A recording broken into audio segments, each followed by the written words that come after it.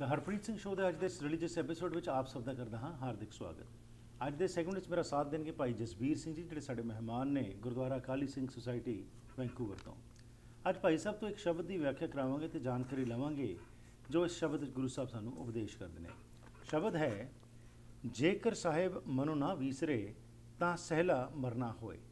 ਕੀ ਇਸ ਦਾ ਇਹ ਮਤਲਬ ਹੋਇਆ ਕਿ ਜਿਹੜਾ ਵਿਅਕਤੀ ਸ- ਰੱਬ ਨਾਲ ਜਿਹੜਾ ਜੁੜਿਆ ਹੋਇਆ ਹੈ, ਕੀ ਉਸ ਦੀ ਸੌਖੀ ਮੌਤ ਹੁੰਦੀ ਹੈ? ਕੀ ਇਸ ਦੇ ਵਿੱਚ ਜਦੋਂ ਅਸੀਂ ਗੁਰੂ ਸਾਹਿਬਾਨ ਦੇ ਜੀਵਨ ਵੱਲ ਝਾਤ ਮਾਰਦੇ ਹਾਂ ਤੇ ਜਿਸ ਤਰ੍ਹਾਂ ਸ਼ਹੀਦੀਆਂ ਪ੍ਰਾਪਤ ਕੀਤੀਆਂ ਤਾਂ ਗੁਰੂ ਸਾਹਿਬ ਨੂੰ ਤਾਂ ਤਕਲੀਫਾਂ ਹੋਈਆਂ ਭਾਵੇਂ ਉਹ ਤਾਂ ਰੱਬ ਦਾ ਹੀ ਰੂਪ ਸਨ। ਸੋ ਗੁਰੂ ਸਾਹਿਬ ਕੀ ਕਹਿ ਰਹੇ ਨੇ ਸ਼ਬਦ ਵਿੱਚ? ਆਓ ਇਸ ਬਾਰੇ ਜਾਣਕਾਰੀ ਲੈਂਦੇ ਹਾਂ ਭਾਈ ਜਸਬੀਰ ਸਿੰਘ ਜੀ ਤੋਂ। ਭਾਈ ਸਾਹਿਬ ਜੀ ਜੀ। ਵਾਹਿਗੁਰੂ ਜੀ ਕਾ ਖਾਲਸਾ ਵਾਹਿਗੁਰੂ ਜੀ ਕੀ ਫਤਿਹ। ਸੋ ਇਹ ਸ਼ਬਦ ਜਿਹੜਾ ਜੀ ਇਹ ਕੀ ਸੰਕੇਤ ਕਰ ਰਿਹਾ ਸਾਨੂੰ ਕੀ ਸਮਝਾ ਰਿਹਾ ਹੈ? ਇਹ ਸ਼ਬਦ ਇੱਕ ਗੁਰੂ ਅਮਰਦਾਸ ਜੀ ਦਾ ਸ਼ਲੋਕ ਆ ਬਿਹਗੜੇ ਕੀ ਵਾਰ ਜਿਹੜੀ 17ਵੀਂ ਪੌੜੀ ਆ। ਜੀ। ਉਹਦੇ ਨਾਲ ਦੋ ਸ਼ਲੋਕ ਆ। ਪਹਿਲਾ ਸ਼ਲੋਕ ਕਬੀਰ ਸਾਹਿਬ ਜੀ ਦਾ ਜੀ। ਔਰ ਉਸ ਤੋਂ ਮਗਰੋਂ ਇਹ ਗੁਰੂ ਅਮਰਦਾਸ ਜੀ ਦਾ ਸ਼ਲੋਕ ਆ। ਜੀ। ਕਬੀਰ ਸਾਹਿਬ ਦਾ ਸ਼ਲੋਕ ਉਹਨਾਂ ਦੇ ਸ਼ਲੋਕਾਂ ਵਿੱਚ ਵੀ ਆਉਂਦਾ। ਹੂੰ ਹੂੰ 29ਵਾਂ ਸ਼ਲੋਕ ਆ ਥੋੜੇ ਜਿਹੇ ਸਪੈਲਿੰਗ ਦੇ ਫ਼ਰਕ ਆ। ਬਾਕੀ ਜਿਹੜਾ ਸ਼ਬਦ ਜ਼ਿਆਦਾਤਰ ਜਿਹੜੇ ਉਹ ਸ਼ਬਦ ਸੇਮ ਹੀ ਆ। ਜੀ। ਇਹਨੂੰ ਸਮਝਣ ਲਈ ਪਹਿਲਾਂ ਅਸੀਂ ਕਬੀਰ ਜੀ ਦਾ ਸ਼ਬਦ ਵੀ ਨਾਲ ਲਾ ਕੇ ਪੜ੍ਹਨਾ ਪੈਣਾ। ਅਸੀਂ ਗੱਲ ਸ਼ੁਰੂ ਕਰਾਂ ਮੈਂ ਤੁਹਾਡੇ ਇਸ ਸਵਾਲ ਤੋਂ ਹੀ।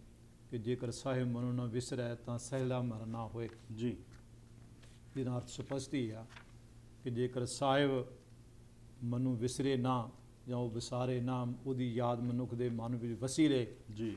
ਤਾਂ ਸੁਖੱਲਾ ਮਰਨਾ ਹੁੰਦਾ। ਹੂੰ ਹੂੰ। ਇਹਦੇ 'ਚ ਕੋਈ ਦੋਰਾਵਾ ਨਹੀਂ ਕੋਈ ਸੰਦੇਹ ਨਹੀਂ ਕਿ ਮਰਨਾ ਸੌਖਾ ਹੁੰਦਾ ਸੁਖੱਲਾ ਹੁੰਦਾ। ਜੀ। ਪਰ ਕਿਹੜੀ ਮਰਨ ਦੀ ਗੱਲ ਕਰ ਰਹੇ ਆ? ਉਹ ਦੇਖਣ ਦੀ ਲੋੜ ਆ। ਹੂੰ ਹੂੰ ਹੂੰ ਦੇਖੋ ਗੁਰਬਾਣੀ ਕਾਵ ਵਿੱਚ ਆ ਭਾਵੇਂ ਜਿਹੜਾ ਵਾਰਤਕ ਆ ਉਹਦੇ ਵੀ ਨਿਯਮ ਹੁੰਦੇ ਆ ਸਮਝਣ ਦੇ ਠੀਕ। ਤੇ ਕਾਵ ਦੇ ਤਾਂ ਹੁੰਦੇ ਹੀ ਆ। ਜੀ। ਇਸ ਲਈ ਜਿਹੜੇ ਤਕਰੀਬਨ ਹਰ ਭਾਸ਼ਾ ਵਿੱਚ ਸਾਨੂੰ ਐਸੇ ਸੰਕੇਤ ਮਿਲਦੇ ਆ। ਲਈ ਸੰਸਕ੍ਰਿਤ ਦੇ ਵਿਦਵਾਨਾਂ ਨੇ ਵੀ ਉਹਨਾਂ ਨੇ ਦੱਸਿਆ ਸੀ ਕਿ ਜਿਹੜੇ ਕਿਸੇ ਵੀ ਜਿਹੜੀ ਕਾਵ ਟੁਕੜੀ ਨੂੰ ਸਮਝਣ ਲਈ ਤਿੰਨ ਗੱਲਾਂ ਧਿਆਨ ਰੱਖਣ ਦੀ ਲੋੜ ਹੁੰਦੀ ਆ। ਤਿੰਨ ਸ਼ਕਤੀ ਸ਼ਬਦ ਸ਼ਕਤੀਆਂ ਹੈਗੀਆਂ ਜਿਹਨੂੰ ਅਬਦਾ ਕਹਿੰਦੇ ਆ। ਠੀਕ। ਕਿ ਜੋ ਪੜ੍ਹਦੇ ਹੋ ਜੋ ਪ੍ਰਭਾਵ ਪੈਂਦਾ ਜੋ ਮੀਨਿੰਗ ਸਾਹਮਣੇ ਆਉਂਦਾ ਕੋਈ ਵਿੰਗਟੇਡ ਨਹੀਂ ਕੋਈ ਹੋਰ ਰਹੱਸ ਨਹੀਂ ਕੋਈ ਕੋਈ ਲੁਕਿਆ ਮੀਨਿੰਗ ਨਹੀਂ ਭਾਵ ਅਰਥ ਨਹੀਂ। ਜੀ। ਤੋਂ ਅਬਦਾ ਸ਼ਕਤੀ ਕਹਿੰਦੇ ਆ ਉਹਨੂੰ ਠੀਕ। ਦੂਜੀ ਲਕਸ਼ਣਾ ਹੈਗੀ ਆ। ਹੂੰ ਲਕਸ਼ਣਾ ਤੋਂ ਭਾਵ ਆ ਜੋ ਸਾਹਮਣੇ ਪ੍ਰਤੱਖ ਦਿਸ ਰਿਹਾ ਜੀ। ਉਹ ਭਾਵ ਨਹੀਂ ਭਾਵ ਇਹਨਾਂ ਦੇ ਓਲੇ ਆ। ਠੀਕ? ਉਸ ਭਾਵ ਨੂੰ ਸਪਸ਼ਟ ਕਰਨਾ। ਤੀਜਾ ਗਾ ਵਿਅੰਜਨਾ ਸ਼ਕਤੀ ਜਿਹਨੂੰ ਅਸੀਂ ਵਿਅੰਗ ਕਹਿ ਦਿੰਦੇ ਆ ਜੀ। ਕਿ ਜੋ ਕਹਿ ਰਿਹਾ ਦਾ ਭਾਵ ਦਾ ਉਲਟ ਹੁੰਦਾ। ਠੀਕ।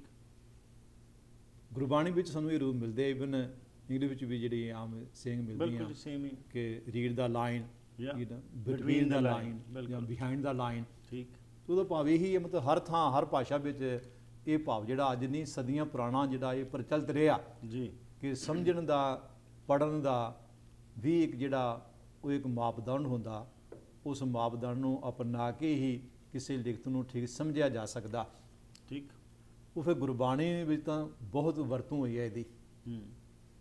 ਪਰ ਮੁਸ਼ਕਿਲ ਇਹ ਹੈ ਕਿ ਜਿਸ ਤਰ੍ਹਾਂ ਬਹੁਤ ਸਾਰੇ ਹੋਰ ਦੂਜੇ ਧਰਮ ਗ੍ਰੰਥਾਂ ਦੇ ਉਹਨਾਂ ਦੇ ਪੈਰੋਕਾਰ ਉਹਨਾਂ ਦੇ ਅਖਰੀ ਮੀਨਿੰਗ ਲੈਂਦੇ ਆ। ਇਸ ਕਰਕੇ ਸੰਪਰਦਾਵਾਂ ਵਧਣ ਦਾ ਪੈਦਾ ਹੋਣ ਦਾ ਵੀ ਇੱਕ ਕਾਰਨ ਮੁੱਖ। ਕਾਰਨ ਇਹੀ ਬਣ ਜਾਂਦਾ। ਬਿਲਕੁਲ। ਕਿ ਕੁਝ ਜਿਹੜੇ ਪੈਰੋਕਾਰ ਹੁੰਦੇ ਆ ਉਹ ਲਿਟਰੀ ਮੀਨਿੰਗ ਲੈ ਲੈਂਦੇ ਆ। ਕੁਝ ਜਿਹੜੇ ਉਹਨਾਂ ਦਾ ਭਾਵ ਅਰਥ ਲੈਂਦੇ ਆ। ਠੀਕ। ਉਹ ਫਿਰ ਟਕਰਾਅ ਹੋ ਜਾਂਦਾ। ਕਹਿੰਦਾ ਨਹੀਂ ਆ ਕਿਹਾ ਦੂਜਾ ਕਹਿੰਦਾ ਨਹੀਂ ਆ ਕਿਹਾ। ਦੋਵੇਂ ਪ੍ਰਮਾਣ ਜਿਹੜੇ ਆ ਉਹ ਆਪਣੇ ਧਰਮ ਗ੍ਰੰਥ ਨੂੰ ਦੇ ਰਹੇ ਹੁੰਦੇ ਆ। ਰਾਈਟ ਉਹ ਸਾਡੇ ਵਿੱਚ ਵੀ ਐਸਾ ਹੋ ਰਿਹਾ। ਠੀਕ। ਇਸ ਲਈ ਆਮ ਜਿਹੜਾ ਸਿੱਖ ਆ ਉਹ ਕਨਫਿਊਜ਼ ਹੋ ਜਾਂਦਾ। ਕਿ ਇੱਕ ਆਉਂਦਾ ਉਹ ਵੀ ਗੁਰਬਾਣੀ ਨੂੰ ਪ੍ਰਮਾਣ ਦੇ ਰਿਹਾ। ਜੀ। ਦੂਜਾ ਆਉਂਦਾ ਉਹ ਕਹਿੰਦਾ ਗੁਰਬਾਣੀ ਦਾ ਫਰਮਾਨ ਆ ਪਰ ਦੋ ਜੋ ਕਹਿ ਰਹੇ ਆ। ਜੋ ਕਹਿਣਾ ਚਾਹੁੰਦੇ ਉਹਦੇ ਜ਼ਮੀਨ ਅਸਮਾਨ ਦਾ ਅੰਤਰ ਆ। ਠੀਕ। ਉਹ ਕਾਰਨ ਪਿੱਛੇ ਇਹੀ ਆ ਕਿ ਕੁਝ ਜਿਹੜਾ ਉਹ ਲਿਟਰੇਰੀ ਮੀਨ ਲੈ ਰਹੇ ਆ ਜੋ ਅਖਰੀ ਅਰਥ ਬਣਦਾ ਕਿ ਉਹਨੂੰ ਧਿਆਨ ਵਿੱਚ ਰੱਖ ਰਹੇ ਆ ਕੁਝ ਜਿਹੜਾ ਭਾਵ ਅਰਥ ਜਿਹਦੇ ਅਖਰੀ ਅਰਥ ਸੰਭਵ ਨਹੀਂ। ਜੀ। ਇਸ ਲਈ ਉਹ ਭਾਵ ਅਰਥ ਲੈ ਕੇ ਉਹਨੂੰ ਸਪਸ਼ਟ ਕਰਨ ਦੀ ਕੋਸ਼ਿਸ਼ ਕਰ ਰਹੇ ਆ। ਇਹਦੀ ਟਕਰਾਅ ਦਾ ਕਾਰਨ ਵੀ ਕੀ ਬਣ ਜਾਂਦਾ। ਠੀਕ। ਤਾਂ ਗੁਰੂ ਸਾਹਿਬ ਜੋ ਇੱਥੇ ਕਹਿਣਾ ਚਾਹੁੰਦੇ ਆ ਉਹਦੇ ਵਿੱਚ ਕੋਈ ਦੋਰਾਵਾ ਹੈ ਹੀ ਨਹੀਂ ਜੀ। ਕਿ ਜਿਹਦੇ ਅੰਦਰ ਰੱਬ ਵਸਿਆ ਹੋਇਆ ਜੋ ਰੱਬ ਨਾਲ ਜੁੜਿਆ ਹੋਇਆ। ਹੂੰ। ਜਿਹਨੂੰ ਰੱਬ ਨੇ ਨਹੀਂ ਭੁਲਾਇਆ ਪਰ ਜਿਹੜਾ ਰੱਬ ਨੇ ਜਿਹਨੇ ਰੱਬ ਨੂੰ ਆਪਣੇ ਅੰਦਰ ਵਸਾਇਆ ਉਹਦੇ ਗੁਣਾਂ ਨੂੰ ਧਾਰਨ ਕੀਤਾ ਹੋਇਆ ਜੀ।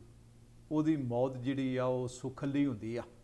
ਇੱਥੋਂ ਤੱਕ ਕੋਈ ਵਾਦ ਵਿਵਾਦ ਨਹੀਂ। ਰਾਈਟ ਪਰ ਕਿਹੜੀ ਮੌਤ ਹੈ ਪਰ। ਕਿਹੜੀ ਮੌਤ ਆ? ਰਾਈਟ ਉਹ ਸਾਨੂੰ ਅਸੀਂ ਇਸ ਸ਼ਬਦ ਵਿੱਚੋਂ ਹੀ ਸਮਝਣੀ ਆ ਜਾਂ ਗੁਰਬਾਣੀ ਦੇ ਦੂਜੇ ਸ਼ਬਦ ਉਹਨਾਂ ਦੀ ਸਹਾਇਤਾ ਨਾਲ ਸਮਝਣ ਦੀ ਕੋਸ਼ਿਸ਼ ਕਰਨੀ ਆ।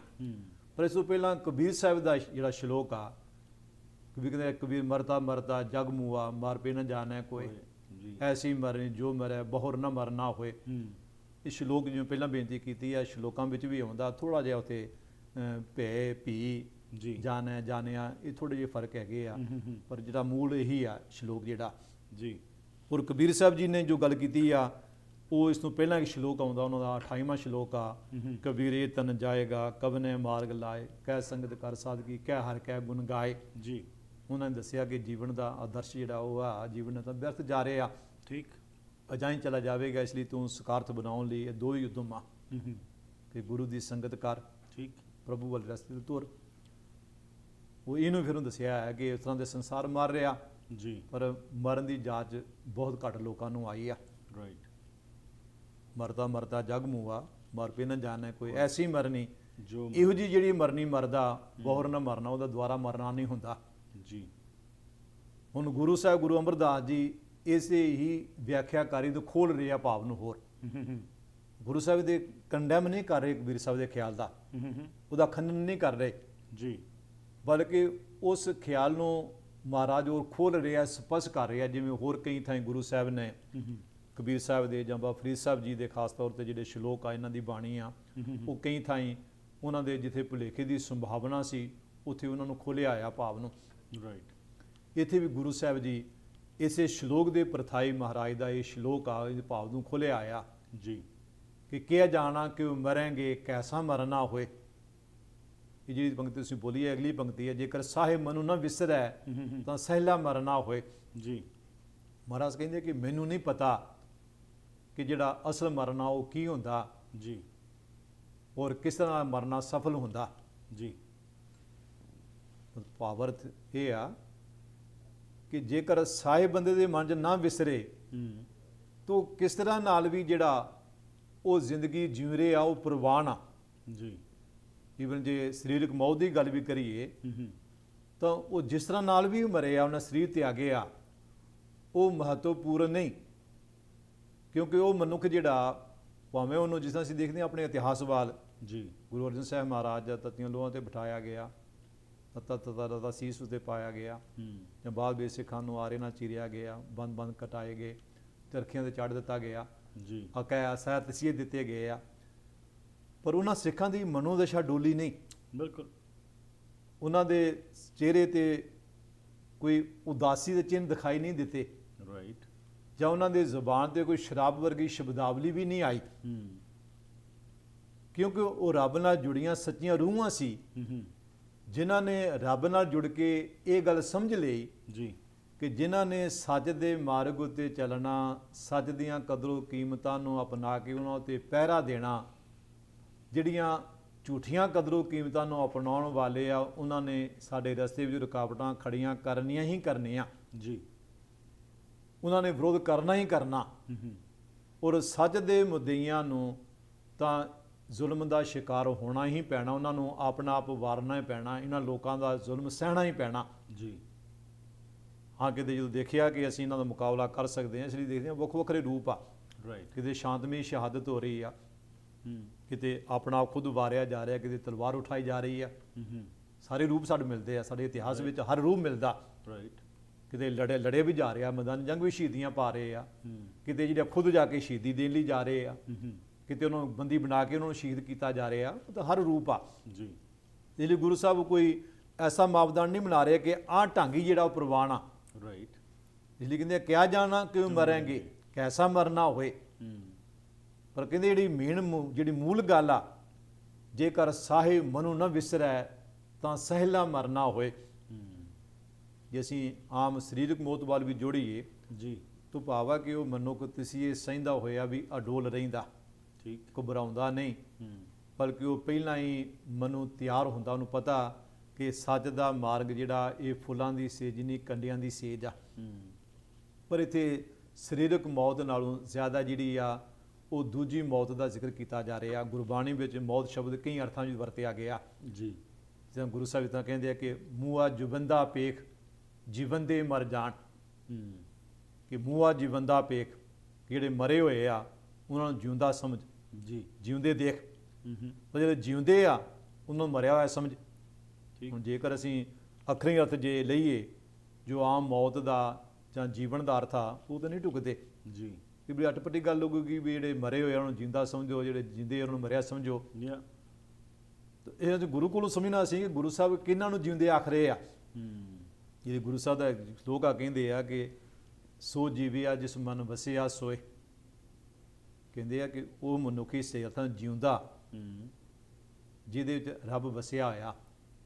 ਜਿਨੇ ਸੱਚ ਦੀਆਂ ਕਦਰੋ ਕੀਮਤਾਂ ਨੂੰ ਅਮਲੀ ਰੂਪ ਵਿੱਚ ਪ੍ਰੈਕਟੀਕਲੀ ਅਪਣਾਇਆ ਹੋਇਆ। ਜੀ। ਰੱਬ ਦੇ ਵਸਣ ਤੋਂ ਭਾਵ ਕਿ ਰੱਬ ਦੇ ਗੁਣਾਂ ਨੂੰ ਜਿਨੇ ਆਪਣੇ ਅੰਦਰ ਧਾਰਨ ਕੀਤਾ ਹੋਇਆ।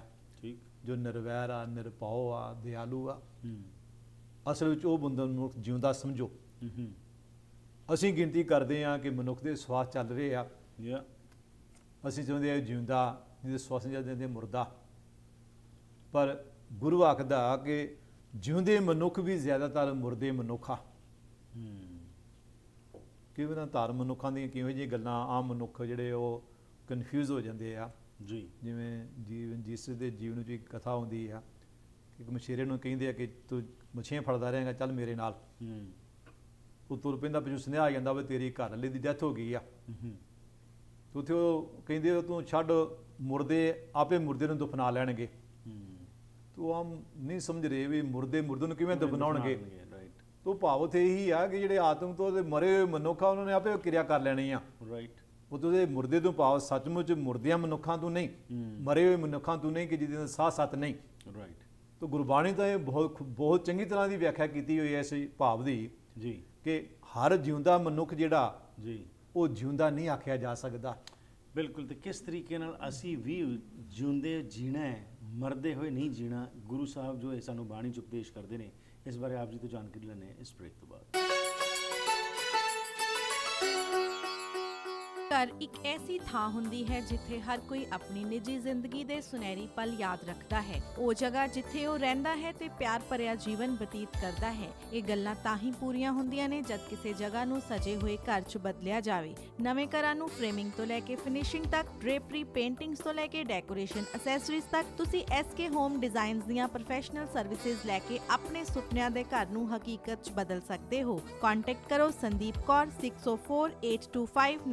6048259295 ਗੁਰੂ ਸਾਹਿਬ ਸਾਨੂੰ ਕੀ ਉਪਦੇਸ਼ ਕਰਦੇ ਨੇ ਕਿ ਕਿਸ ਤਰੀਕੇ ਨਾਲ ਅਸੀਂ ਜੀਣਾ ਹੈ ਕਿ ਜਿਉਂਦੇ ਹੋਏ ਜੇਕਰ ਅਸੀਂ اخلاق ਤੋਂ ਦੂਰ ਹੋ ਜਾਈਏ ਆਤਮਿਕ ਮੌਤੇ ਮਰ ਜਾਈਏ ਤਾਂ ਕੀ ਇਹ ਜਿਉਣਾ ਹੋਏਗਾ ਗੁਰੂ ਸਾਹਿਬ ਕੀ ਕਹਿ ਰਹੇ ਨੇ ਇਸ ਸੰਬੰਧ ਵਿੱਚ ਇਸੇ ਸ਼ਬਦ ਨਾਲ ਆਓ ਮੁੜ ਤੋਂ ਤੁਹਾਨੂੰ ਜੋੜਦੇ ਹਾਂ ਤੇ ਭਾਈ ਜਸਵੀਰ ਸਿੰਘ ਜੀ ਤੋਂ ਜਾਣਕਾਰੀ ਲੈਣੇ ਹਾਂਜੀ ਭਾਈ ਸਾਹਿਬ ਜੇ ਅਸੀਂ ਬ੍ਰੇਕ ਤੋਂ ਪਹਿਲਾਂ ਗੱਲ ਕਰ ਰਹੇ ਸੀ ਕਿ ਜੀ। ਗੁਰਬਾਣੀ ਵਿੱਚ ਜਿਹੜਾ ਮਰਨ ਸ਼ਬਦ ਆ ਹੂੰ ਜਾਂ ਜੀਵਨ ਸ਼ਬਦ ਆ ਜੀ ਇਹ ਕੇਵਲ ਜੋ ਅਸੀਂ ਆਮ ਸਾਡੇ ਕੋਸ਼ਾਂ ਵਿੱਚ ਸਾਡੀਆਂ ਡਿਕਸ਼ਨਰੀਆਂ ਵਿੱਚ ਇਹਦਾ मीनिंग ਦਿੱਤਾ ਹੋਇਆ ਜੀ ਜੋ ਇਹਦੀ ਡੈਫੀਨੀਸ਼ਨ ਆ ਕੇਵਲ ਇਸੇ ਇਹਨਾਂ ਅਰਥਾਂ ਵਿੱਚ ਹੀ ਨਹੀਂ ਵਰਤਿਆ ਗਿਆ ਬਲਕਿ ਹੋਰ ਬਹੁਤ ਸਾਰੇ ਅਰਥਾਂ ਤੋਂ ਵ- ਵਿੱਚ ਵਰਤਿਆ ਗਿਆ ਠੀਕ ਜਿਵੇਂ ਕਬੀਰ ਸਾਹਿਬ ਕਹਿੰਦੇ ਆ ਕਿ ਕਬੀਰ ਜਿਸ ਮਰਨੇ ਤੇ ਜਗ ਡਰੈ ਮੇਰੇ ਮਨ ਆਨੰਦ ਹੂੰ ਮਰਨੇ ਹੀ ਤੇ ਪਾਈਐ ਪੂਰਨ ਪਰਮਾਨੰਦ ਜੀ ਹੁਣ ਇਹਦਾ ਭਾਵ ਨਹੀਂ ਕਿ ਮਰਿਆ ਜਿਸ ਸਰੀਰਕ ਮੌਤ ਦੀ ਗੱਲ ਨਹੀਂ ਕਰ ਰਹੇ ਕਿ ਜਿਸ ਮਰਨ ਨੂੰ ਮਨੁੱਖ ਡਰ ਰਿਹਾ ਪਰ ਮੇਰੇ ਮਨ 'ਚ ਤੇ ਬੜੀ ਖੁਸ਼ੀ ਹੋ ਰਹੀ ਆ। ਖੁਸ਼ੀ ਇਸ ਲਈ ਹੋ ਰਹੀ ਆ ਕਿ ਮਰਿਆ ਹੀ ਪਰਮ ਗਤੀ ਹੁੰਦੀ ਆ। ਜੇ ਪਰਮ ਗਤੀ ਮਰਿਆ ਹੀ ਹੋਣੀ ਆ ਫਿਰ ਤੇ ਕੋਈ ਜਪ ਤਪ ਦੀ ਕਰਮ ਕਰਨ ਦੀ ਲੋੜ ਹੀ ਨਹੀਂ। ਫਿਰ ਇਨਸਾਨੀ ਦੇ ਕਦਰੋ ਕੀਮਤਾਂ ਨੂੰ ਅਪਣਾਉਣ ਦੀ। ਵਿਚਾਰ ਕਰਨ ਦੀ ਲੋੜ ਹੀ ਕੋਈ ਨਹੀਂ। ਕਿਉਂਕਿ ਮਰਿਆ ਸਾਰਿਆਂ ਦੀ ਪਰਮ ਗਤੀ ਹੋ ਹੀ ਜਾਣੀ ਆ। ਪਰ ਇੱਥੇ ਕਬੀਰ ਸਾਹਿਬ ਸਰੀਰਕ ਮੌਤ ਦੀ ਗੱਲ ਨਹੀਂ ਕਰ ਰਹੇ। ਜੀ। ਇੱਥੇ ਗੱਲ ਕਰ ਰਹੇ ਆ ਕਿ ਜਿਹੜਾ ਮਨੁੱਖ ਆਮ ਮੋਹ ਮਮਤਾ ਵਿੱਚ ਫਸਿਆ ਹੋਇਆ ਦੁਨੀਆਦਾਰੀ ਦੇ ਚੱਕਰਾਂ 'ਚ ਪਿਆ ਆ ਉਹ ਇਹਨਾਂ ਨੂੰ ਛੱਡਣਾ ਨਹੀਂ ਚਾਹੁੰਦਾ। ਠੀਕ। ਤੂੰ ਕਹਿੰਦੇ ਜਿਸ ਦਿਆਗ ਤੋਂ ਆਮ ਮਨੁੱਖ ਡਰ ਰਿਹਾ ਕਿ ਨਹੀਂ ਜੇ ਮੈਂ ਇਹ ਛੱਡ ਕੇ ਦਿੱਤਾ ਤੇ ਫਿਰ ਰਸ ਕੀ ਰਹਿਣਾ? ਨਹੀਂ ਛੱਡਣਾ ਚਾਹੁੰਦਾ ਕਿਉਂਕਿ ਰਸ ਕਾ ਐਸੇ ਆ ਮੋਹ ਐਸਾ ਅਟੈਚਮੈਂਟ ਇਸ ਤਰ੍ਹਾਂ ਦੀ ਬਣੀ ਹੋਈ ਆ ਕਿ ਮਨੁੱਖ ਨਹੀਂ ਛੱਡਣਾ ਚਾਹੁੰਦਾ। ਜੀ। ਸੱਚ ਨੂੰ ਨਹੀਂ ਅਪਣਾਉਣਾ ਚਾਹੁੰਦਾ।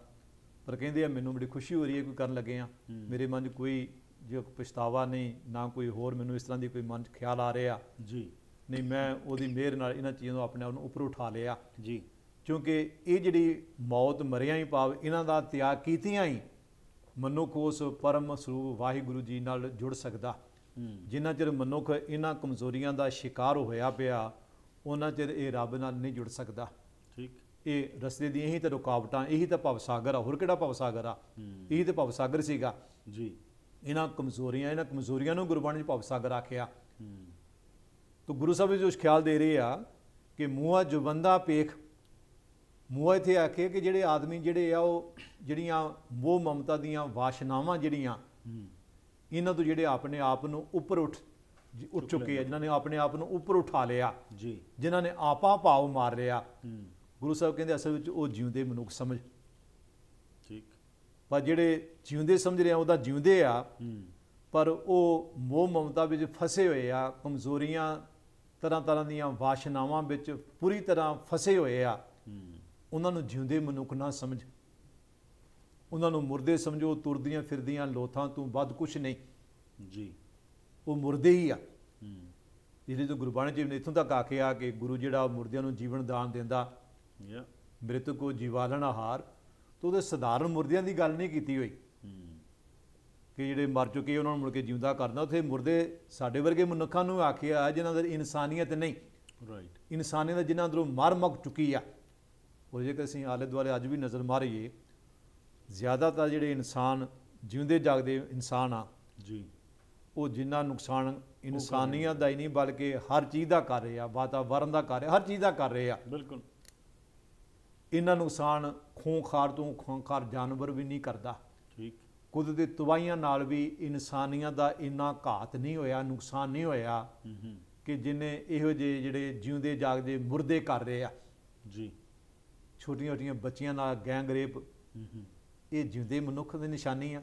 ਰਾਈਟ ਉਹਨਾਂ ਦੀ ਅੰਦਰ ਜਿਹੜੀ ਉਹ ਜ਼ਮੀਰ ਨਹੀਂ ਉਹਨਾਂ ਅੰਦਰ ਇਨਸਾਨੀਅਤ ਨਹੀਂ ਇਨਸਾਨੀਅਤ ਮਰ ਮੁੱਕ ਚੁੱਕੀ ਆ ਨਾ ਇਸ ਲੋਕਾਂ ਅੰਦਰ। ਜੀ। ਜਿਹੜੇ ਲੋਕਾਂ ਦੇ ਜੀਵਨ ਨਾਲ ਖਿਲਵਾੜ ਕਰ ਰਹੇ ਆ ਖਾਣ ਪੀਣ ਦੀ ਚੀਜ਼ਾਂ 'ਚ ਮਿਲਾਵਟ ਕਰ ਰਹੇ ਆ ਨਕਲੀਆਂ ਦਵਾਈਆਂ ਮਾਰਕੀਟ ਵਿੱਚ ਲਿਆ। ਉਹਨਾਂ ਲੋਕਾਂ ਖਾਣ ਪੀਣ ਦੀ ਕੋਈ ਕਮੀ ਨਹੀਂ ਹੈ ਜੀ ਉਹਨਾਂ ਲੋਕਾਂ ਕੋਲ। ਉਹਨਾਂ ਲੋਕਾਂ ਕੋਲ ਇਹਨਾਂ ਦਾ ਇੰਨਾ ਬੈਂਕ ਬੈਲੈਂਸ ਆ ਕਿ ਉਹ ਕਈ ਪੀੜ੍ਹੀਆਂ ਬੈਠੀਆਂ ਖਾ ਸਕਦੇ ਆ। ਜੀ। ਪਰ ਪਸ਼ੂ ਪੂਣੇ ਕਾਰਨ ਪਸ਼ੂ ਵੀ ਇੰਨੇ ਗਏ ਗੁਜ਼ਰੇ ਨਹੀਂ ਹੁੰਦੇ। ਹੂੰ। ਉਹ ਪਸ਼ੂਆਂ ਨਾਲੋਂ ਵੀ ਗਏ ਗੁਜ਼ਰੇ ਇਨਸਾਨ ਆ। ਜੀ। ਤੇ ਗੁਰੂ ਸਾਹਿਬ ਇਹਨਾਂ ਮਨੁੱਖਾਂ ਨੂੰ ਆਖਦੇ ਉਹਨਾਂ ਜਿਉਂਦੇ ਨਾ ਸਮਝ। ਹੂੰ। ਇਹਦੇ ਜਿਨ੍ਹਾਂ ਮੁਹੱਬਤ 103 ਮਾਨਸ ਪ੍ਰਧਾਨ ਜੀ। ਜਿਹੜੇ ਰੱਬ ਨਾਲ ਜੁੜੇ ਹੋਏ ਆ ਉਹ ਸ਼ਿਰੋਮਣੀ ਮਨੁੱਖਾ ਤੋ ਜਿਹੜਾ ਸ਼ਲੋਕ ਆ ਗੁਰੂ ਸਾਹਿਬ ਜੀ ਦਾ ਇਹਦੇ ਗੁਰੂ ਸਾਹਿਬ ਇਹੀ ਕਹਿ ਰਹੇ ਆ ਕਹਿੰਦੇ ਕਿ ਜੇਕਰ ਸਾਹਿਬ ਮਨ ਨੂੰ ਵਿਸਰਿਆ ਤਾਂ ਸਹਿਲਾ ਮਰਨਾ ਹੋਏ। ਜੀ। ਜੇਕਰ ਰੱਬ ਨਾ ਵਿਸਰੇ ਰੱਬ ਦੀ ਯਾਦ ਬਣੀ ਰਹੇ ਤਾਂ ਸਹਿਲੇ ਮਰਨ ਤੋਂ ਸੌਖੇ ਮਰਨ ਤੋਂ ਭਾਵਾ ਫਿਰ ਸੌਖਿਆਂ ਹੀ ਮਨੁੱਖ ਮਾਇਆ ਦੇ ਪ੍ਰਭਾਵ ਤੋਂ ਮੁਕਤ ਹੋ ਸਕਦਾ। ਰਾਈਟ ਇਥੇ ਮਾਇਆ ਦੇ ਮੋਹ ਦੇ ਪ੍ਰਭਾਵ ਦੀ ਗੱਲ ਆ। ਇਥੇ ਇਨਸਾਨੀਅਤ ਨੂੰ ਗਰਾਉਣ ਵਾਲੀਆਂ ਉਹਨਾਂ ਕਦਰੋ ਕੀਮਤਾਂ ਦੀ ਗੱਲ ਆ। ਉਹਨਾਂ ਮਨ ਵਾਸ਼ਨਾ ਵੱਲ ਇਸ਼ਾਰਾ ਕਿ ਜਿਨ੍ਹਾਂ ਵਾਸ਼ਨਾਵਾਂ 'ਚ ਵਧਾ ਹੋਇਆ ਮਨੁੱਖ ਆਪਣੇ ਆਪ ਨੂੰ ਐਲੀਵੇਟ ਨਹੀਂ ਕਰ ਪਾਉਂਦਾ। ਜੀ। ਗੁਰੂ ਸਾਹਿਬ ਕਹਿੰਦੇ ਜੇ ਸੱਚਮੁੱਚ ਰੱਬ ਦੇ ਗੁਣ ਧਾਰਨ ਕਰ ਲਈਏ ਤਾਂ ਫਿਰ ਮਨੁੱਖ ਨੂੰ ਕੋਈ ਮੁਸ਼ਕਲ ਨਹੀਂ ਆਉਂਦੀ। ਫਿਰ ਬੜੇ ਸੌਖਿਆਂ ਸਹਿਜੇ ਮਨੁੱਖ ਇਹਨਾਂ ਤੋਂ ਆਪਣੇ ਆਪ ਨੂੰ ਉੱਪਰ ਉਠਾਉਣ ਵਿੱਚ ਸਫਲ ਹੋ ਜਾਂਦਾ। ਜੀ। ਔਰ ਗੁਰੂ ਸਾਹਿਬ ਅੱਗੇ ਖਿਆਲ ਦੇ ਰਹੇ ਆ ਕਹਿੰਦੇ ਮਰਨੇ ਤੇ ਜਗ ਡਰੈ ਜੀਵਿਆ ਲੋੜੈ ਸਭ ਕੋਏ। ਇਤੇ ਸਧਾਰਨ ਸਰੀਰਕ ਤਲ ਤੇ ਜੀਵਨ ਜਾਂ ਮਰਨ ਦੀ ਗੱਲ ਨਹੀਂ। ਜੀ। ਉਹ ਤਾਂ ਰੱਬ ਨੇ ਸਿਸਟਮ ਐਸਾ ਬਣਾਇਆ ਕਿ ਬੰਦੇ ਅੰਦਰ ਹੀ ਨਹੀਂ। ਹੂੰ। ਬਲਕਿ ਜੋ ਕੁਝ ਵੀ ਉਸਨੇ ਪੈਦਾ ਕੀਤਾ ਜੀ। ਜੀਵਨ ਦੀ ਚਾਹਤ ਹਰ ਪ੍ਰਾਣੀ ਵਿੱਚ ਆ। ਹੂੰ। ਤੁਸੀਂ ਛੋਟਾ ਜਿਹਾ ਕੀੜਾ ਦੇਖੋ ਜੇ ਉਹਨੂੰ ਲੱਗੇ ਖਤਰਾ ਪਾਸੇ ਕਿ ਮੈਨੂੰ ਕੋਈ ਮਾਰਨ ਲੱਗਾ ਤੇ ਕਿਸ ਤਰ੍ਹਾਂ ਦੌੜ ਭੱਜ ਕਰਦਾ ਉਹ? ਜੀ। ਮਤਲਬ ਹਰ ਸੰਭਵ ਕੋਸ਼ਿਸ਼ ਕਰਦਾ ਕਿ ਮੈਂ ਕਿਸੇ ਤਰ੍ਹਾਂ ਆਪਣੇ ਪ੍ਰਾਣ ਬਚਾਵਾਂ। ਠੀਕ। ਮਤਲਬ ਮਾਲਕ ਨੇ ਇਹ ਕੁਦਰਤੀ ਹਰ ਇੱਕ ਪ੍ਰਾਣੀ ਅੰਦਰ ਜਿਹੜਾ ਉਹ ਚੀਜ਼ ਪਾਈ ਹੋਈ ਆ ਕਿ ਉਹਨੇ ਆਪਣੀ ਐਗਜ਼ਿਸਟੈਂਸ ਨੂੰ ਬਚਾਉਣਾ। ਜੀ। ਤੇ ਇਹ ਕੋਈ ਮਾੜੀ ਗੱਲ ਨਹੀਂ। ਮਨੁੱਖ ਦਾ ਇਹ ਸੋਚਣਾ ਕਿ ਮੈਂ ਆਪਣਾ ਸਰੀਰ ਕਾਇਮ ਰੱਖਾਂ ਸਰੀਰ ਦੀ ਪਰਵਿਸ਼ ਕਰਨਾ। ਗੁਰੂ ਸਾਹਿਬ ਨੇ ਖੁਦ ਖਿਆਲ ਦਿੱਤਾ ਆਇਆ ਕਿ ਘਟ ਵਸੈ ਚਰਨਾਰ ਬਿੰਦ ਹਿਰਦੈ ਵਸੈ ਗੋਪਾਲ ਨਾਨਕ ਸੋ ਪ੍ਰਸਮਰੀਆ ਤਿਸ ਦੇਹੀ ਕੋ ਪਾਲ। ਰਾਈਟ ਤੋ ਦੇਹ ਨੂੰ ਪਾਲਣਾ ਤਾਂ ਸਾਡਾ ਫਰਜ਼ ਆ। ਤੋ ਗੁਰੂ ਸਾਹਿਬ ਇੱਥੇ ਉਸ ਦੀ ਗੱਲ ਨਹੀਂ ਕਰ ਰਹੇ ਕਿ ਮਨੁੱਖ ਸਰੀਰਕ ਮੌਤ ਤੋਂ ਡਰ ਰਿਹਾ ਜੀਣਾ ਚਾਹੁੰਦਾ। ਜੀ। ਇੱਥੇ ਗੁਰੂ ਸਾਹਿਬ ਆਮ ਗੱਲ ਕਰ ਰਹੇ ਆ ਕਿ ਆਮ ਮਨੁੱਖ ਜਿਹੜਾ ਉਹ ਇਹਨਾਂ ਮੰਦ ਵਾਸ਼ਨਾ ਵਿੱਚ ਇਹਨਾਂ ਗੰਦ ਦੇ ਕੀੜੇ ਹੀ ਬਣ ਕੇ ਰਹਿਣਾ ਚਾਹੁੰਦਾ।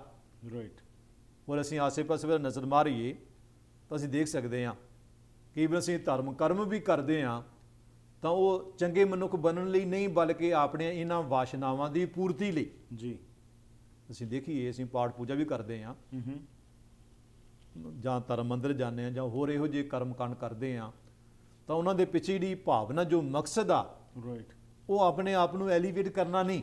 ਰਾਈਟ ਬਲਕਿ ਆਪਣੀਆਂ ਕਾਮਨਾਵਾਂ ਦੀ ਪੂਰਤੀ ਕਰਨਾ। ਮਤਲਬ ਜਿਸ ਧਰਮ ਕਰਮ ਤੋਂ ਅਸੀਂ ਆਪਣੇ ਆਪ ਨੂੰ ਉੱਪਰ ਉਠਾਉਣਾ ਸੀ ਜੀ। ਜਿੱਥੋਂ ਜਾ ਕੇ ਅਸੀਂ ਇਨਸਾਨੀਅਤ ਸਿੱਖਣੀ ਸੀ ਅਸੀਂ ਉੱਥੇ ਜਾ ਕੇ ਵੀ ਇਹੀ ਚੀਜ਼ਾਂ ਭਾਲਦੇ ਹਾਂ ਔਰ ਇਸੇ ਲਈ ਜਾਂਦੇ ਹਾਂ। ਠੀਕ। ਸਾਡੇ ਜਾਣ ਦਾ ਔਰ ਮਕਸਦ ਰਿਹਾ ਹੀ ਕੋਈ ਨਹੀਂ ਬਲਕਿ ਮਕਸਦ ਹੀ ਬਣ ਚੁੱਕਾ। ਠੀਕ। ਗੁਰੂ ਸਾਹਿਬ ਕਹਿੰਦੇ ਵੀ ਜਿਹੜਾ ਆਮ ਜਿਹੜਾ ਮਨੁੱਖ ਆ ਉਹਦੀ ਇਹ ਹਾਲਤ ਆ ਕਿ ਮਰਨਾ ਤੇ ਜਗਤ ਡਰੈ ਜੀਵਿਆ ਲੋੜਾ ਸਭ ਕੋਏ ਪਰ ਕਹਿੰਦਾ ਗੁਰ ਪ੍ਰਸਾਦੀ ਜੀਵਤ ਮਰੈ ਹੁਕਮੈ ਬੂਝੈ ਸੋਏ ਜੀ। ਪਰ ਜਿਹੜਾ ਗੁਰੂ ਦੀ ਕਿਰਪਾ ਨਾਲ ਜਿਉਂਦਿਆਂ ਮਰ ਜਾਵੇ ਜੀ। ਜਿਉਂਦਿਆਂ ਮਰਨ ਤੋਂ ਭਾਵ ਫਿਜ਼ੀਕਲੀ ਡੈਥ ਤੋਂ ਨਹੀਂ। ਬਲਕਿ ਇਥੇ ਭਾਵਾ ਜਿਹੜਾ ਆਪਣੇ ਆਪ ਨੂੰ ਉੱਪਰ ਉਠਾ ਲੇ ਆਪਾ ਭਾਵ ਨੂੰ ਖਤਮ ਕਰ ਦੇਵੇ। ਜੀ। ਮੋਹ ਮਮਤਾ ਜਿਹੜੀਆਂ ਕਮਜ਼ੋਰੀਆਂ ਮਾੜੀਆਂ ਵਾਸ਼ਨਾਵਾਂ ਇਹਨਾਂ ਤੋਂ ਆਪਣੇ ਆਪ ਨੂੰ ਉੱਪਰ ਉਠਾ ਕੇ ਇੱਕ ਸਚਿਆਰਮੇ ਜੀਵਨ ਜਿਉਣ ਲੱਗ ਪਵੇ। ਜੀ। ਸਹੀ ਅਰਥਾਂ ਵਿੱਚ ਉਹਨੇ ਹੁਕਮ ਨੂੰ ਸਮਝਿਆ ਬੁਝਿਆ ਔਰ ਹੁਕਮ ਨੂੰ ਬੁੱਝ ਕੇ ਹੀ ਮਨੁੱਖ ਸਹੀ ਅਰਥਾਂ ਵਿੱਚ ਜਿਹੜੀ ਉਹ ਚੰਗੀ ਜ਼ਿੰਦਗੀ ਜਿਉ ਸਕਦਾ। ਗੁਰੂ ਪ੍ਰਸਾਦ ਜੀਵਤ ਮਰੈ ਹੁਕਮੈ ਬੁਝੈ ਸੋਏ। ਜੀ। ਔਰ ਫਿਰ ਗੁਰੂ ਸਾਹਿਬ ਅਖੀਰ ਵਿੱਚ ਕਹਿੰਦੇ ਆ ਕਿ ਨਾਨਕ ਐਸੀ ਮਰਨੀ ਜੋ ਮਰੈ ਤਾਂ ਸਦ ਜੀਵਨ ਹੋਏ। ਜੀ। ਕਿ ਜਿਹੜਾ ਮਨੁੱਖ ਇਹੋ ਜੀ ਮਰਨੀ ਮਰਦਾ ਹੁਣ ਕਬੀਰ ਸਾਹਿਬ ਦੇ ਸ਼ਬਦਾਂ ਜਿਹੜੇ ਕਿਉਂਕਿ ਉਹਨਾਂ ਦੇ ਪ੍ਰਥਾਏ ਆ ਉਹਨਾਂ ਦੇ ਭਾਵ ਨੂੰ ਹੋਰ ਖੋਲ ਰਿਹਾ ਜੀ। ਉਹਨਾਂ ਨੇ ਕਿਹਾ ਕਿ ਐਸੀ ਮਰਨੀ ਜੋ ਮਰੈ ਬੋਹਰ ਨਾ ਮਰਨਾ ਹੋਏ। ਤਾਂ ਗੁਰੂ ਸਾਹਿਬ ਸ਼ਬਦ ਵਰਤ ਰਹੇ ਆ ਕਿ ਨਾਨਕ ਐਸੀ ਮਰਨੀ ਜੋ ਮਰੈ। ਤਾਂ ਉਹਨਾਂ ਨੇ ਸ਼ਬਦ ਵਰਤਿਆ ਆ ਕਿ ਐਸੀ ਮਰਨੀ ਜੋ ਬੋਹਰ ਨਾ ਮਰਨਾ ਹੋਏ। ਤਾਂ ਗੁਰੂ ਸਾਹਿਬ ਉਸੇ ਖਿਆਲ ਨੂੰ ਇਸ ਤਰ੍ਹਾਂ ਆਖਦੇ ਆ ਕਿ ਤਾਂ ਸਦ ਜੀਵਨ ਹੋਏ। ਇਹਦੇ ਸਦ ਜੀਵਨ ਵਰਤੇ ਆ ਉਥੇ ਬੋਹਰ ਨਾ ਮਰਨਾ ਹੋਏ ਸ਼ਬਦ ਵਰਤੇ ਆ। ਠੀਕ। ਪਰ ਭਾਵ ਦੋਵਾਂ ਦਾ ਇੱਕੋ ਆ। ਜੀ। ਸਦ ਜੀਵਨ ਤੋਂ ਭਾਵ ਸਰੀਰਕ ਤੌਰ ਤੇ ਹਮੇਸ਼ਾ ਜਿਉਂਦੇ ਰਹਿਣ ਤੋਂ ਨਹੀਂ। ਕਿਉਂਕਿ ਇੱਥੇ ਜਾਂ ਗੁਰਬਾਣੀ ਦੇ ਬਹੁਤ ਸਾਰੇ ਸ਼ਬਦਾਂ ਵਿੱਚ ਜਿੱਥੇ ਇਹੋ ਜਿਹਾ ਭਾਵ ਵਰਤਿਆ ਗਿਆ ਉਥੇ ਸਰੀਰਕ ਤਲ ਦੀ ਗੱਲ ਨਹੀਂ। ਠੀਕ। ਜਿਵੇਂ ਗੁਰੂ ਸਾਹਿਬ ਕਹਿੰਦੇ ਆ ਕਿ ਅੰਮ੍ਰਿਤ ਪੀਵੋ ਸਦਾ ਚਿਰ ਜੀਵੋ। ਜੇ ਤੂੰ ਆਤਮ ਨੂੰ ਜਲ ਪੀ ਲਵੇਂ। ਤਾਂ ਹਮੇਸ਼ਾ ਜਿੰਦਾ ਰਹੇਗਾ। ਉਥੇ ਨਹੀਂ ਕਿ ਤੇਰੀ ਮੌਤ ਨਹੀਂ ਹੋਣ ਲੱਗੀ। ਰਾਈਟ ਸਦ ਜੀਵਨ ਗੁਰਬਾਣੀ ਦੇ ਜੀਵਨ ਯੁਗ ਦਾ ਉਹ ਹਿੱਸਾ ਕਿ ਮਾਲਕ ਨੇ ਜਿੰਨਾ ਕੁ ਸਮਾਂ ਤੈਨੂੰ ਦਿੱਤਾ ਪਰ ਜਿੰਨਾ ਚਿਰ ਤੂੰ ਹੂੰ ਤੇਰੀ ਜ਼ਿੰਦਗੀ ਆ ਜੀਵਨ ਆ ਜੀ। ਉਹਨਾਂ ਚਿਰ ਤੂੰ ਇਹਨਾਂ ਆਤਮ ਕਮਜ਼ੋਰੀਆਂ ਦਾ ਸ਼ਿਕਾਰ ਨਹੀਂ ਹੋਵੇਂਗਾ। ਰਾਈਟ ਤੂੰ ਹਮੇਸ਼ਾ ਭਾਵੇਂ ਸਿਚੁਏਸ਼ਨ ਕਿਹੋ ਜਿਹੀ ਵੀ ਕਿਉਂ ਨਾ ਹੋਵੇ ਜੀ। ਹਾਲਾਤ ਭਾਵੇਂ ਕਿਹੋ ਜਿਹੇ ਵੀ ਕਿਉਂ ਨਾ ਹੋਣ ਪਰ ਤੇਰੇ ਅੰਦਰ ਇਨਸਾਨੀਅਤ ਹਮੇਸ਼ਾ ਹੀ ਬਰਕਰਾਰ ਰਹੇਗੀ। ਜ਼ਿੰਦਗੀ ਦੇ ਕਿਸੇ ਵੀ ਮੋੜ ਕਿਸੇ ਵੀ ਪੜਾਅ ਤੇ ਤੂੰ ਇਨਸਾਨੀਅਤ ਵੱਲੋਂ ਮੂੰਹ ਨਹੀਂ ਮੋੜੇਗਾ। ਇਨਸਾਨੀਅਤ ਨੂੰ ਹਮੇਸ਼ਾ ਬਰਕਰਾਰ ਰੱਖਣਾ ਇਹ ਗੁਰਬਾਣੀ ਦੀ ਜੀਵਨ ਜਿਹੜੀ ਉਹਦੀ ਸ਼ਬਦਾਵਲੀ ਆ ਉਹਦੇ ਅਨੁਸਾਰ ਸਦ ਜੀਵਨ ਆ। ਇਹੀ ਜਿਹੜਾ ਹੈਗਾ ਇਹ ਅਮਰ ਜੀਵਨ ਆ। ਇਹੀ ਬਹੁਰ ਨਾ ਮਰਨਾ ਹੋਏ ਦਾ ਕਨਸੈਪਟ ਆ। ਜੀ ਬਿਲਕੁਲ ਤੁਸੀਂ ਕਿਹਾ ਕਿ ਆਤਮਿਕ ਮੌਤ ਗੁਰੂ ਕਹਿੰਦਾ ਨਹੀਂ ਮਰਨੀ ਜੇਕਰ ਇਸ ਚੀਜ਼ ਵਿੱਚ ਤੂੰ ਕਾਮਯਾਬ ਹੋ ਜਾਣਾ ਤਾਂ ਫਿਰ ਤੂੰ ਜੀਵ ਰਿਹਾ ਹੈ। ਜੇਕਰ ਫੇਲ ਹੋ ਜਾਣਾ ਤਾਂ ਫਿਰ ਤੇਰੀ ਮੌਤ ਜਿਉਂਦੇ ਜੀ ਹੋ ਜਾਂਦੀ। ਤੁਹਾਡਾ ਬਹੁਤ ਧੰਨਵਾਦ ਇਸ ਸ਼ਬਦ ਦੀ ਐਕਸਪਲੇਨੇਸ਼ਨ ਲਈ। ਆਉਣ ਵਾਲੇ ਸਮੇਂ ਦੇ ਵਿੱਚ ਇਹ ਇੱਕ ਬੜਾ ਇੰਪੋਰਟੈਂਟ ਟੌਪਿਕ ਹੈ ਕਿਉਂਕਿ ਜਦੋਂ ਅਸੀਂ ਭਾਵ ਦੀ ਗੱਲ ਕਰਨੇ ਆ ਅਸੀਂ ਗੁਰਬਾਣੀ ਨੂੰ ਕਈ ਵਾਰੀ ਸਿਰਫ ਪੜ੍ਹ ਹਾਂ ਤੇ ਸਿਰਫ ਉਸਦੇ ਅਖਰੀ ਅਰਥ ਜਿਹੜੇ ਨੇ ਉਹਨਾਂ ਤੱਕ ਹੀ ਸੀਮਿਤ ਰਹਿ ਜਾਂਦੇ ਤੇ ਇਸੇ ਕਰਕੇ ਸ਼ਾਇਦ ਅੱਜ ਅੱਜ ਗੁਰਬਾਣੀ ਦੀ ਜਿਹੜੀ ਮਿਸ ਇੰਟਰਪ੍ਰੀਟੇਸ਼ਨ ਵੀ ਹੋ ਰਹੀ ਹੈ ਬਹੁਤ ਥਾਵਾਂ ਤੇ ਕੁਝ ਲੋਕ ਕੁਝ ਕਹਿ ਜਾਂਦੇ ਨੇ ਕੋਈ ਹੋਰ ਕਹਿ ਦਿੰਦੇ ਨੇ ਪਰ ਜੇਕਰ ਅਸੀਂ ਉਸ ਦਾ ਭਾਵ ਸਮਝੀਏ ਤਾਂ ਕੋਈ ਵੀ ਸਾਨੂੰ ਕਠਨ ਨਹੀਂ ਹੋਏਗੀ। ਤੁਹਾਡਾ ਬਹੁਤ ਧੰਨਵਾਦ। ਵਾਹਿਗੁਰੂ ਜੀ ਕਾ ਖਾਲਸਾ ਵਾਹਿਗੁਰੂ ਜੀ ਕੀ ਫਤਿਹ। ਸੋ ਇਸ ਦੇ ਨਾਲ ਹੀ ਕਰਦੇ ਹਾਂ ਜੀ ਅੱਜ ਦੇ ਇਸ ਪ੍ਰੋਗਰਾਮ ਦੀ ਇੱਥੇ ਹੀ ਸਮਾਪਤੀ ਫੀਡਬੈਕ ਦੇ ਸਕਦੇ ਹੋ 604 603 7555 ਜਾਂ ਫਿਰ ਈਮੇਲ ਜ਼ਰੀਏ ਸੰਪਰਕ ਕਰੋ harpreetsingh@gmail.com ਅਸੀਂ ਬਹੁਤ ਸਾਰੇ ਮੁੱਦਿਆਂ ਉੱਤੇ ਸਾਂਝ ਪਾਇਆ ਕਰਨੇ ਤੇ ਇਹ ਸਾਰੇ ਹੀ ਤੁਸੀਂ ਐਪੀਸੋਡਸ ਦੁਬਾਰਾ ਦੇਖਣਾ ਚਾਹੋ ਤਾਂ youtube.com/harpreetsingh ਤੇ ਜਾ ਕੇ ਦੇਖ ਸਕਦੇ ਆ। ਸਮਾਂ ਕੱਢ ਕੇ ਪ੍ਰੋਗਰਾਮ ਦੇਖਣ ਲਈ ਧੰਨਵਾਦ ਤੇ ਜਿਹੜੀ ਤੁਸੀਂ ਸਪੋਰਟ ਦੇ ਰਹੇ ਹੋ, ਉਸ ਲਈ ਵੀ ਤੁਹਾਡੇ ਧੰਨਵਾਦੀ ਹਾਂ। ਕਿਉਂਕਿ ਅਸੀਂ ਸਮਾਂ ਖਰੀਦਦੇ ਹਾਂ ਜੋਏ ਟੀਵੀ ਤੋਂ ਤੇ ਉਸ ਤੋਂ ਬਾਅਦ ਇਹ ਪ੍ਰੋਗਰਾਮਸ ਤੁਹਾਡੇ ਤੱਕ ਲੈ ਕੇ ਆਉਂਦੇ ਹਾਂ। ਪਿਛਲੇ 7 ਸਾਲਾਂ ਤੋਂ ਹਰ ਰੋਜ਼ ਤੁਹਾਡੇ ਘਰਾਂ ਦੇ ਵਿੱਚ ਆ ਕੇ ਵੱਖਰੇ ਵੱਖਰੇ ਮੁੱਦਿਆਂ ਉੱਤੇ ਡਿਸਕਸ਼ਨ ਕਰ ਰਹੇ ਹਾਂ ਤੇ ਜਿਹੜੇ ਵੀ ਸਾਡੇ ਇੱਥੇ ਆਉਂਦੇ ਨੇ ਸਪੀਕਰਸ ਬੇਬਾਕੀ ਨਾਲ ਤੁਹਾਡੇ ਨਾਲ ਸਾਂਝ ਪਾਇਆ ਕਰਦੇ ਨੇ ਕਿਉਂਕਿ ਅਸੀਂ ਕਿਸੇ ਸੰਸਥਾ ਨਾਲ ਨਹੀਂ ਜੁੜੇ। ਇਸ ਕਰਕੇ ਤੁਹਾਡੇ ਸਪੋਰਟ ਦੀ ਲੋੜ ਹੈ, ਕੋਈ ਵੀ ਜਾਣਕਾਰੀ ਲੈਣੀ ਹੋਏ ਜਿਹੜੇ ਸਾਡੇ ਐਡਵਰਟਾਈਜ਼ਰਸ ਨੇ, ਜਿਹੜੇ ਸਾਨੂੰ ਪ੍ਰਮੋਟ ਕਰਦੇ ਨੇ, ਉਹਨਾਂ ਨੂੰ ਤੁਸੀਂ ਸਪੋਰਟ ਕਰੋ ਜਾਂ ਜੇਕਰ ਤੁਸੀਂ ਪ੍ਰੋਗਰਾਮ ਨੂੰ ਸਪਾਂਸਰ ਕਰ ਸਕੋ ਤਾਂ ਉਸ ਲਈ ਵੀ ਤੁਹਾਡੇ ਹੋਵਾਂਗੇ। ਧੰਨਵਾਦ ਜੀ। ਲੈਣਾ ਆ ਗਿਆ, ਫਿਰ ਮੁਲਾਕਾਤ ਕਰਾਂਗੇ। ਤਦ ਤੱਕ ਗੁੱਡ